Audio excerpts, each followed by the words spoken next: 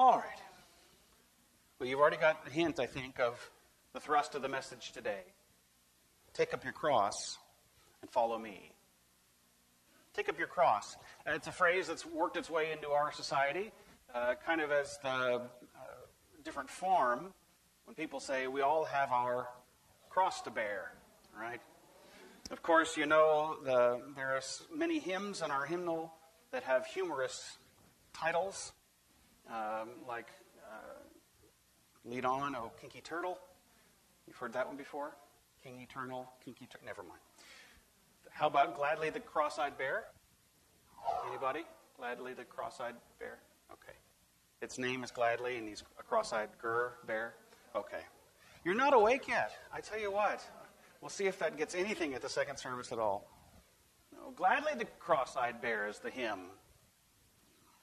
Gladly? I don't see anything in here about gladly following Jesus. I know there are, it's in other places in the scripture. I'm not saying it's not there. Uh, but right here, we have a very scary invitation, a very somber invitation. If any want to become my followers, and it's conditional. There's an if. If any want to become my followers, let them deny themselves, take up their cross, and follow me. In the musical Sunset Boulevard, the collection agents are coming to get the car from our hero, the writer. And of course, he's long overdue on his car payments, and they're after his keys. And they sing to him, Are you telling us you walked here? And he sings, I believe in self denial. I'm in training for the priesthood. Yeah. Okay, wise guy, give us the keys, they say. Are you in self denial? We like to think that self denial is a bad thing. You meet someone who's in denial and you say, oh, they're on that river in Egypt. Denial, right? Well, okay. Here, Jesus makes it sound like something we ought to do to deny ourselves. We've turned self denial into some sort of uh, slang, a derogatory term for someone who doesn't have a grasp on reality really, it's something much more special and meaningful and useful. How do we deny ourselves, take up our cross, and follow me? And what's this business about their cross? What do you mean, our cross? Uh, isn't the song Beneath the Cross of Jesus, I take my stand? Isn't our faith about Jesus' cross? Today we're going to talk a little bit about that the way of the cross versus the way of grace, or cheap grace, what the difference is. Talk a little bit about what our cross looks like, what it has to do with self denial, but ultimately, what it means to follow Jesus with a cross. So, first, let's go back to that uh, bit about self denial. To live in denial, again, as I've said, means sort of a derogatory thing. To ignore reality. To say, oh, no, no, no, I, am not going to believe that, no matter how true it may be. I'm not going to accept that, no matter how passionately you argue. I'm going to deny that that even exists. Denial. Or we could flip it over and look at the other definition of denial, the other side that perhaps Jesus is getting at denying themselves. In the case of being willful or being willing, you've heard me talk about this before. Uh, Gerald May, the psychotherapist, writes about the nature of being willful versus willing. It's useful and helpful stuff for Christians. In fact, he is himself a Christian author. And so, what does it mean to be willing? Versus to be willful. To be willful is like to be full of yourself, to be full of your will, to say, this is how it's going to be. It's my way or the highway. You like it? Great. You don't? Tough. I'm not going to change. This is how it is. Willful. Think full of yourself, full of the will.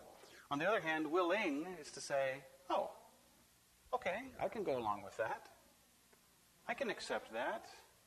Sure, I'll help. Yes, I'll do this. You might think that one is the firmly planted, entrenched no, and the other is the open and ready yes. Where do you find self denial in the good sense? In the stubborn willfulness or the open willingness?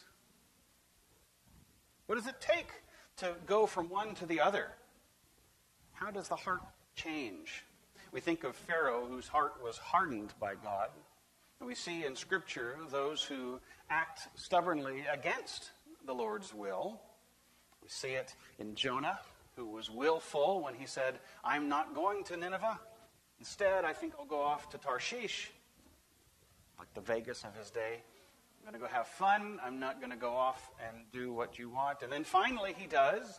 He becomes willing after spending three days in the belly of the fish. God subjects the willful to difficulties so that they might learn to be willing. And after that struggle, he emerges from the fish begrudgingly willing. Still, it's a crack. It's enough to turn from willful to willing begins to deny himself and follow God.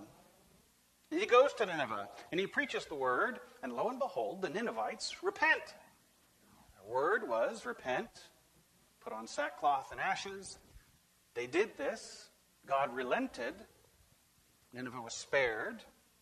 And now Jonah put on his willful hat again and said, Hey, wait a minute. I wanted to see some destruction. God says, Sit down, Jonah. Jonah sits under the bush in his stubbornness. It's so hot, the bush is there. And the next day, the worm comes and eats the bush, and Jonah's in the sun again. Is there no end of torment for the willful? Now, you might say, but wait a minute, I'm willing, and I feel torment too. Well, Jesus doesn't promise that it will absolutely be smooth sailing, easy peasy when you're willing. No, in this world we have trouble. But the willful, by their willfulness, close themselves off to God's possibilities, are only open in a strange way to God's torment. The willing are open to all of God's possibilities the joy and the pain, the opportunity that God presents. So, when we deny ourselves, when we set aside our own self, we open up to God's possibilities. Now, about that suffering. That brings us to this cross part. These little crosses that we give out are very sanitized, at least they're wood. We think of uh, beautiful golden crosses or silver crosses. We've seen fancy crosses carved out of bone. I have one made out of olive wood. We clean up our crosses. I've got a nice one made out of nails. If you turn it a certain way, it looks like Jesus hanging on it. It's pretty neat. But even that is very clean. No, and this cross as well. At least it's somewhat rugged. It's beautiful. I know some who worry about it you know, falling on us while we're up here doing communion. but no, it's, it's securely fastened. It's fine. Cross was an instrument of torture, an instrument of death. I've told you about the time, and I'll tell you again. I apologize if you've heard this story and didn't like it the first time. But about the time that uh, I spent on the cross in our passion play in college. We did a, a passion play right in the middle of campus our InterVarsity Christian Fellowship service group. Members of other uh, campus uh, ministry groups joined in. So it took a large crowd, a large cast to make this work. And my uh, role was the thief on the cross who taunts Jesus. You say you're the Christ? Get us down from here. Save yourself and us. That's all. I mean, it was a short little part the hard part of it was that we were actually up on full sized wooden crosses that someone had made, and they'd used railroad spikes as the nails, because I mean, they, they really show up well. And we had to hold ourselves onto the nails, onto these spikes, like this.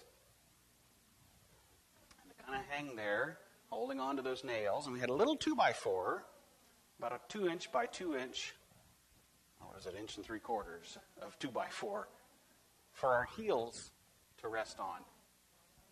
So heels on a little board, hands on a couple of nails, and wait. Wait while Jesus is flogged, while he carries his cross, while he stops, Simon the Cyrene picks up the cross, and they make their way across campus to the place where Jesus would be crucified. We have to wait while Jesus is nailed to the cross. And I got to tell you, the sound of a, a little tiny sledgehammer on those spikes was ringing around the campus. And our Jesus really played it up with a lot of yells. I mean, people were, yeah, it was moving. And then this Jesus is hoisted up, and stuck in the pre prepared hole. And then we were told to wait a few minutes before the dialogue to let the impact of three people on crosses sink in. And then the dialogue, and the response, and then Jesus had to die. I mean, it was a long time. Do you get the idea? My arms were shaking, my legs were shaking, my back was killing me, my gut was beginning to quiver. My body was doing things uncontrollably that I had never didn't think it would do. Just being in that position, let alone with, without the pain of having actually been nailed to the thing. I don't know how people survived being crucified. You? Do you get that? Are you with me now? It was not a pleasant ordeal, but I did it for the sake of the impact of the play, which it did have great impact. I was willing to do that work because I could remember the words of our staff member as he began to evangelize the crowd that had gathered to watch the play to receive the souls who are willing to give their life to Christ that very moment. Such was the impact of the passion, of the power of the crucifixion. Now, is that literally what Jesus means? We should take up a, a cross and hang on it for a while? I know many of you have specialized exercise machines in your home. How many of you um, have a treadmill? I'm sorry. How many of you, because how many of you have used yours about as often as we use ours? Which is not much. Good luck getting rid of it when the time comes. But how many of you actually love and use exercise equipment, whether it's a weight bench or something like that, that's in your home? How many of you have a cross set up on your home somewhere that you hang on regularly? Anybody? No, we don't. Does Jesus mean that we are to have a literal cross that we carry around, like one that you wear on your chest or hang on your backpack? Is that what he means? Take up your cross. And how could they have understood? Let's be realistic here. This is, we're seeing this with our Jesus classes on. We're looking back on this knowing the result. This crowd, well, he had only just then begun to teach them that the Son of Man must undergo great suffering, be rejected by the elders, the chief priests, and the scribes, and be killed, and after three days rise again. That was the, the opening shot there. The disciples had just begun to figure out that he was Messiah, but what did that mean? Just to clarify what Messiah meant, Jesus began to tell them about the suffering he must undergo and the death he must die. Does our self denial and our cross carrying lead to death? Does it lead to agony and suffering and pain? If you're expecting me to say no, I apologize. For it certainly leads to death. It certainly leads to agony and pain. It leads to suffering but it leads to the blessed assurance that our suffering is not in vain, that our death is not for nothing, and that there is life on the other side of it. Our work of carrying our cross is joined with the transformative work of Jesus on his cross. Jesus paid it all. Jesus made it possible for any and all of us to receive the forgiveness of sins, but the call for us to join in carrying a cross. Well, why should we have to do that if Jesus paid it all? Why should we have to be willing to deny ourselves?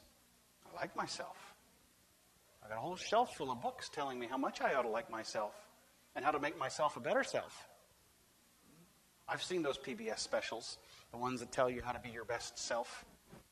I've heard those TV preachers say, just work on being good.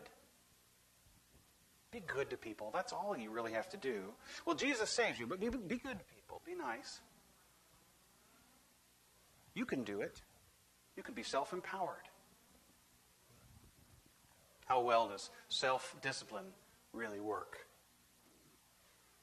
Even the gurus tell us that self discipline works best when we have accountability with someone else to remind us. To ask the Dr. Phil question how's that working for you? That self discipline. We find ourselves trying to do it our way, even if we don't sing the song. When we do it my way, when we do it our way, and we run into trouble.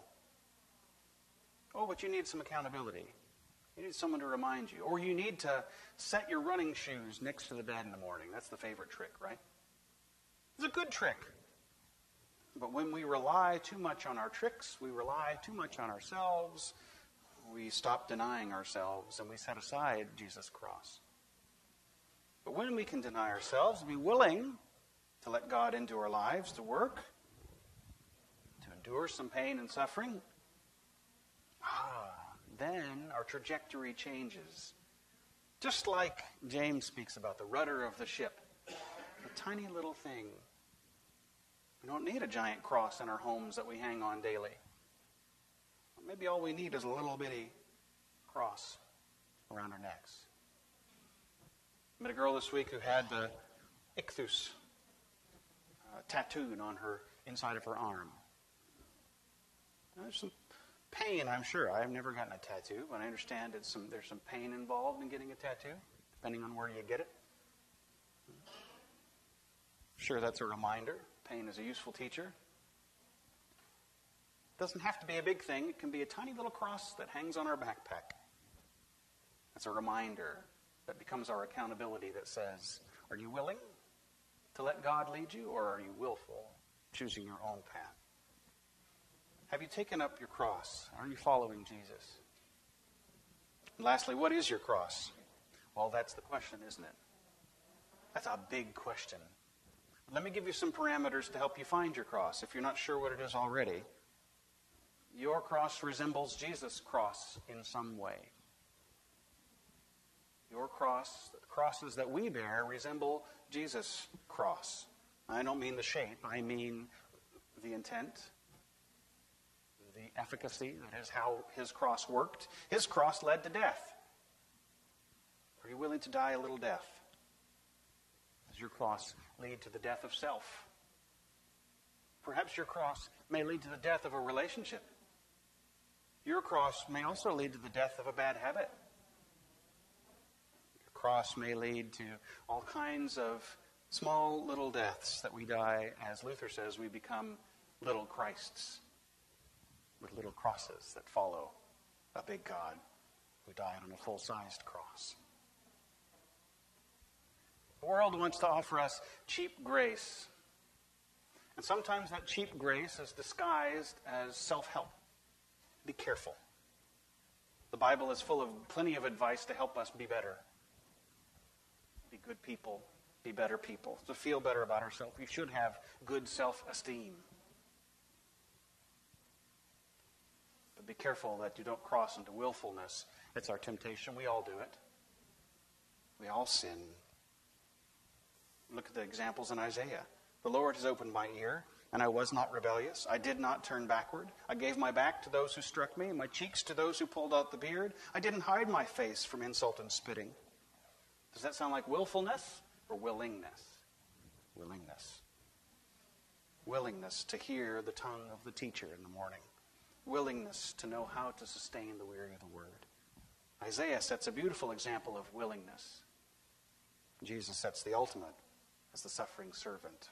When our cross looks like Jesus' cross, it's a cross of willingness to do the Father's work.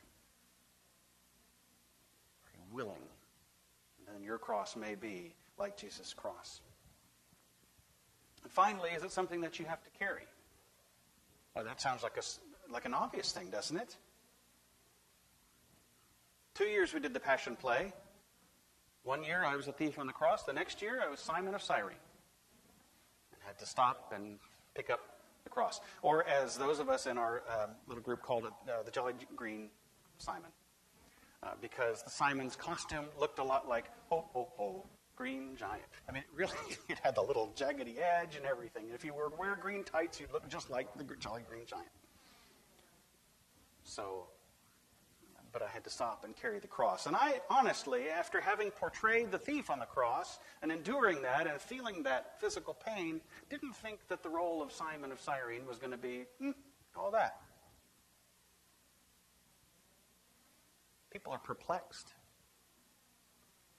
by Simon. People are perplexed by carrying the cross.